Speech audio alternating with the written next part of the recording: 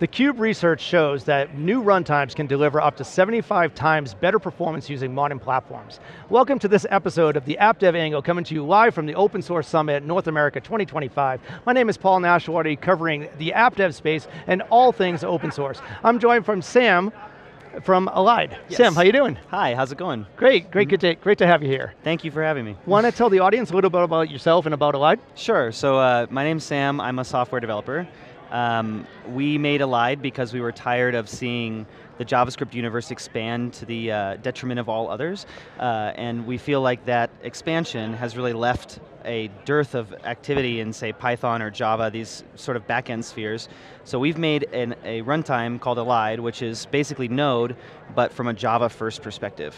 That's, that's awesome. I mean, when we look at this, you know, we look at runtime platforms that are looking to redefine performance, cost efficiencies, and developer flexibility across multiple programming language, right? Mm -hmm. So these polyglot you know, deployments mm -hmm. are really looking for new ways of doing this, especially with these heritage environments. So I understand that you're built on Oracle Graal VM, right? Mm -hmm. And this is a solution that promises dramatic speed improvements, so up to 75 times faster than traditional runtimes, right? Mm -hmm. We were mm-hmm. trying to say that up front, right?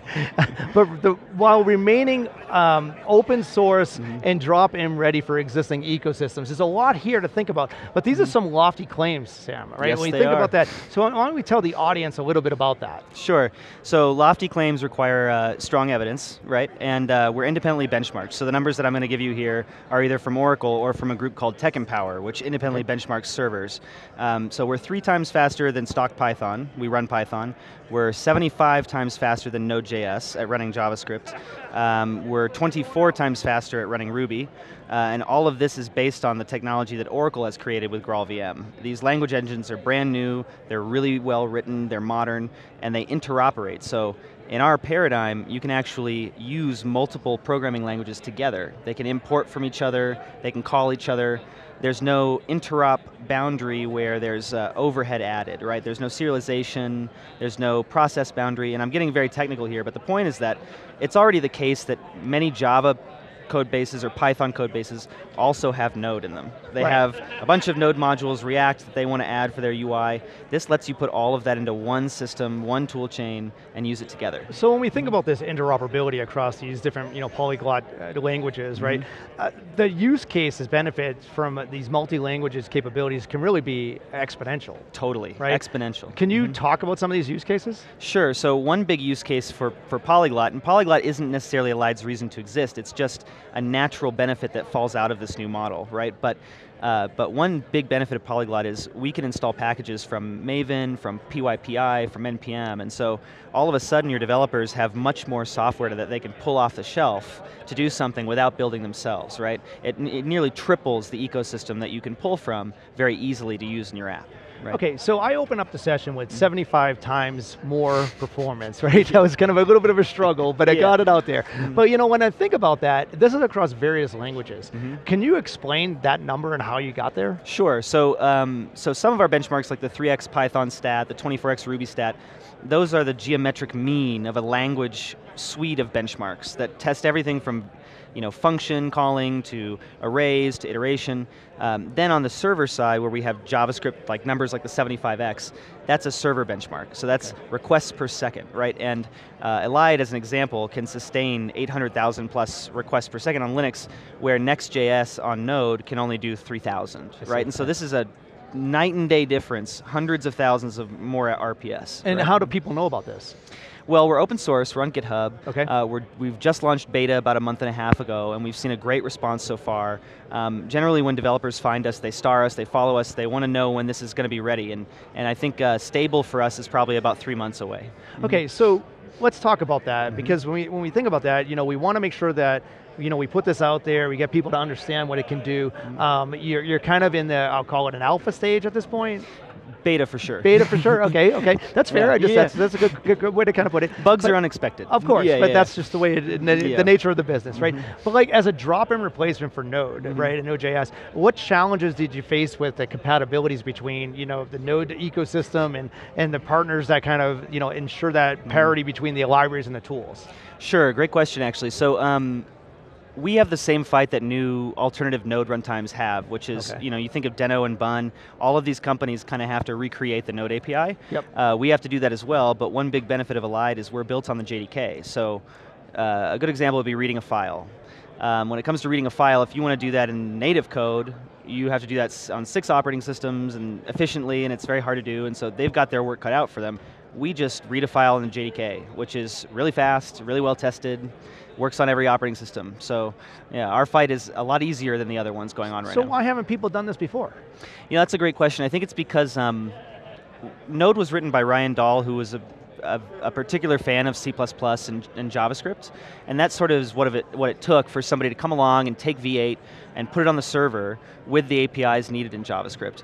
Um, we have that same bent. We love all these languages, but we're Java Kotlin first, right? And we believe that the JVM and Java and Kotlin give a richer, more powerful substrate to build a runtime in. Um, here's an example. Java is memory safe.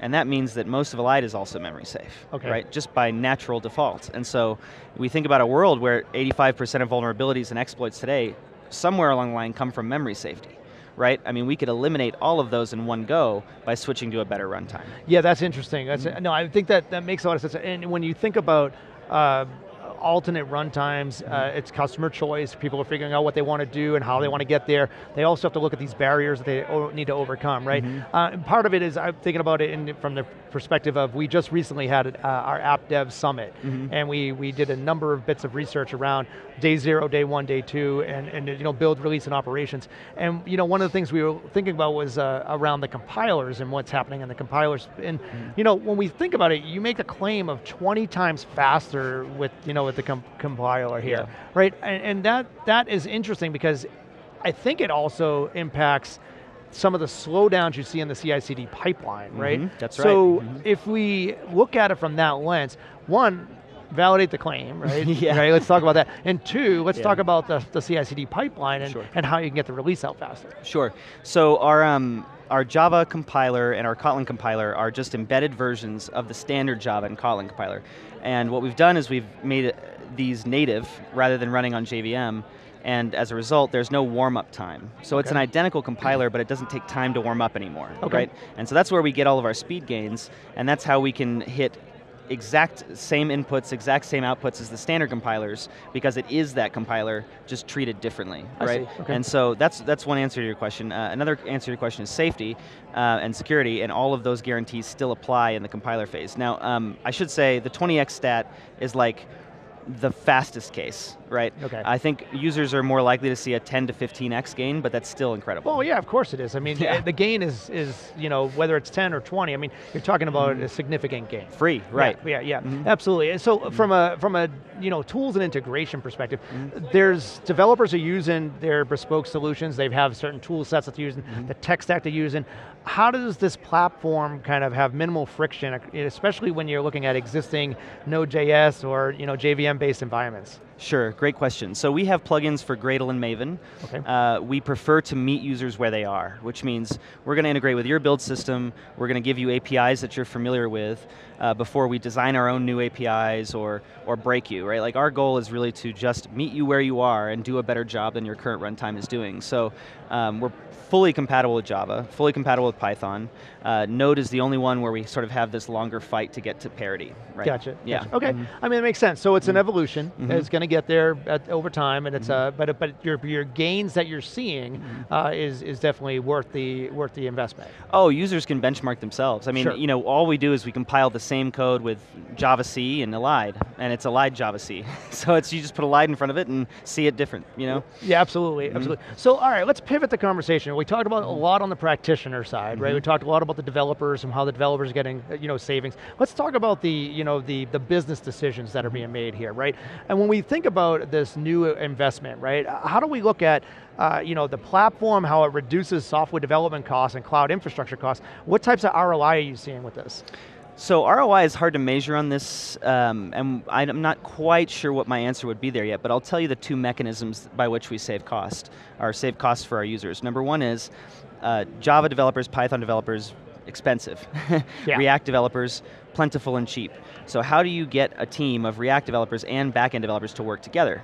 This is a runtime that allows you to interoperate, that both their code could talk to each other, it's seamless, you don't have to throw it away, you don't have to rehire people, right? Like, there's a cultural barrier that we're knocking down here. Um, by doing that, we lower the cost to develop software because those salaries can be lower for React and front-end developers. So that's one Gotcha, place. okay, okay. Uh, the other place is by running faster, we can run for less time, and so that cuts your AWS compute bill immediately, right? Yeah, well, I see that, you know, we can absolutely talk about this economic uh, validation here because I Mm-hmm. think it's a big factor in switching platforms, you know, moving to a new tech stack and such. I think that's an important factor to look at. Absolutely. But, Mm-hmm. You know, we will also want to talk about those tangible business values, right? Mm-hmm. Uh, you know, like user experience, you were talking about that, you know, you have the collaboration between teams, faster releases because you have that collaboration. But Mm-hmm. Faster builds. faster yep. builds. We talked about that across the CI/CD pipeline. Right. Uh, but also revenue impact, right? Because I mean, you can get this code out the door faster. But anything else that we're missing? Other than, I mean, the performance acceleration alone is Sure. is incredible. Well, you know, one that's hard to quantify is um, what would a breach cost you that never happened?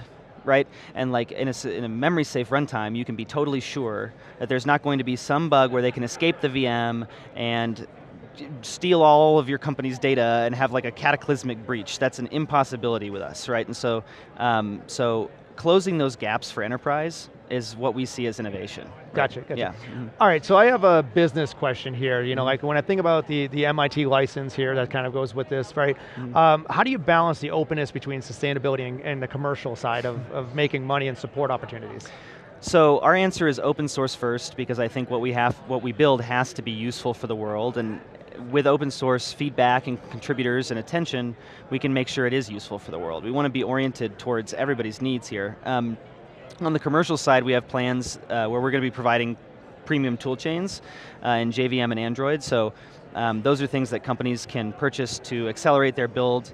Um, that's separate and different from our runtime. So the runtime's always going to be open source, always free, right? Cool. Um, now, those components that we're intending to charge for, in all cases, we charge less than the cost that you would incur for not using our product, right? So Right. they're almost always structured to be a no-brainer. So, Mm-hmm. all right, so then I'll ask the question, you know, you'd say you're talking to CTOs here at the Mm-hmm. audience, right, and we're at, at open source, and you know, you're talking to them, and they're evaluating these new solutions and how to get there.